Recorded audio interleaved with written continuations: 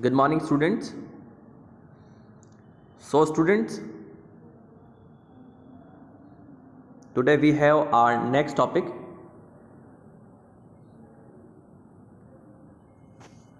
Which is atomic size.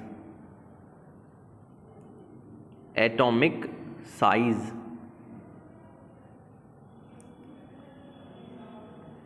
so what is the meaning by atomic size atomic size का actually meaning क्या है? मैं आपको वो एक्सप्लेन करता हूँ। Students atomic size is considered by the atomic radius so atomic size को हम कंसिडर करते हैं by atomic radius and atomic radius का मीनिंग क्या है? जनरली हमको जो समझ में आता है, उसका मीनिंग ये है कि एटॉम का रेडियस एटॉम का रेडियस को हम एटॉमिक रेडियस कह देते हैं। लेकिन it is not the correct definition so correct definition क्या है?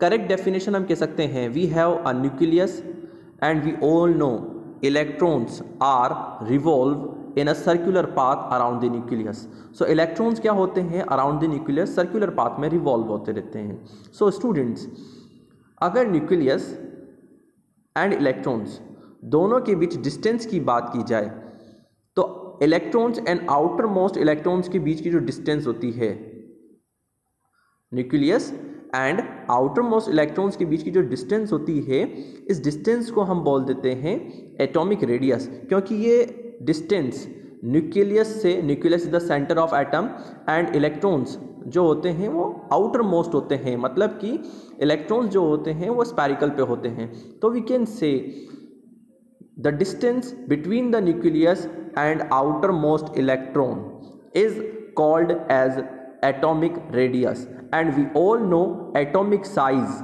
is considered by the atomic radius. So, जितना ज़्यादा एटॉम का रेडियस होगा, उतना ज़्यादा एटॉम का साइज़ होगा। ठीक है स्टूडेंट्स सो अब जनरली हम बात करते हैं कि एटॉमिक रेडियस को कौन कौन से फैक्टर्स हैं जो कि अफेक्ट करते हैं। So basically we have three types of factors first one is nuclear charge first one is nuclear charge. So so, सबसे पहला क्या है? न्यूक्लियर चार्ज एन सी हम इससे कह रहे हैं है ना? Nuclear charge so we all know nucleus and electron क्या पोजिशन होती हैं इनकी एटम्स में? जैसे कि हमें पता है ठीक है? We all know nucleus is positively charge and electrons are negatively charge particles so क्या होगा? Nucleus in oppositely charge particles in oppositely charge electrons को अट्रैक्ट करेगा टूवर्ड्स इट अपनी साइड अट्रैक्ट करेगा। देन क्या होगा? जब ये इलेक्ट्रॉन्स को अपनी साइड अट्रैक्ट करेगा तो ये अट्रैक्ट होकर इलेक्ट्रॉन्स अट्रैक्ट होकर अंदर के साइड पहुँच जाएँगे। और जब ये अंदर के साइड पहुँच जाएँगे तो पहले तो एटॉम की रेडियस ज़्यादा थी एंड नाउ एटॉम की रेडियस क्या हो जाएगी बेटा? कम हो जाएगी। सो so, ओवरऑल हम क्या कह सकते हैं? हम ये कह सकते हैं जब इलेक्ट्रॉन्स न्यूक्लियस की तरफ़ अट्रैक्ट होते हैं तो उसकी जो एटॉमिक रेडियस होती है एटॉमिक रेडियस या हम एटॉमिक साइज़ भी कहते हैं, वो डिक्रीज़ हो जाता है। तो न्यूक्लियर चार्ज ऐसा फैक्टर है जो एटम की रेडियस को क्या कर देता है? डिक्रीज कर देता है। ठीक है स्टूडेंट्स सो पहला फैक्टर है हमारे पास न्यूक्लियर चार्ज नाउ हम बात करते हैं हमारे सेकेंड फैक्टर के बारे में। अब सेकेंड फैक्टर कौन है बेटा? सेकेंड फैक्टर है shielding effect shield shielding effect shielding effect is a effect जो किस पे होता है? जो इफ़ेक्ट होता है बेसिकली इनर इलेक्ट्रॉन्स का। इनर इलेक्ट्रॉन्स का। When outermost electrons are attracted by the nucleus then the inner electrons shield them by this charge so so, जो जब inner outermost electron nucleus के साइड अट्रैक्ट होते हैं तो inner electrons इन outermost electrons को क्या कर देते हैं? रिपेल कर देते हैं। और जब ये रिपेल करेंगे तो ये आउटर मोस्ट इलेक्ट्रॉन कहाँ पुश हो जाएँगे? बाहर के side in that case nucleus और आउटर मोस्ट इलेक्ट्रॉन्स के बीच की डिस्टेंस इंक्रीज हो जाएगी। दैट इज़ एटॉमिक साइज़ भी क्या हो जाएगा? इंक्रीज हो जाएगा। सो शील्डिंग इफ़ेक्ट ऐसा इफ़ेक्ट है जो एटॉम के साइज़ को क्या कर देता है? इंक्रीज कर देता है। ऑन दी अदर हैंड हम बात करते हैं हमारे नेक्स्ट फैक्टर की। नेक्स्ट फैक्टर है हमारे पास शेल्स और number of shells shells we all know around the nucleus Jin circular path में इलेक्ट्रॉन्स रिवॉल्व करते हैं, उन्हें शेल कहते हैं। ये हो गया फ़र्स्ट शेल ठीक है? हम बात ड्रॉ करते हैं सेकंड सो so ये जो सेकंड होगा, इसे हम कहेंगे सेकंड शेल एंड हम बोलेंगे थर्ड तो ये थर्ड शेल हो जाएगा। So as we can see जैसे जैसे नंबर ऑफ़ शेल्स इंक्रीज होते हैं वैसे वैसे एटम का साइज़ भी इंक्रीज हो रहा है।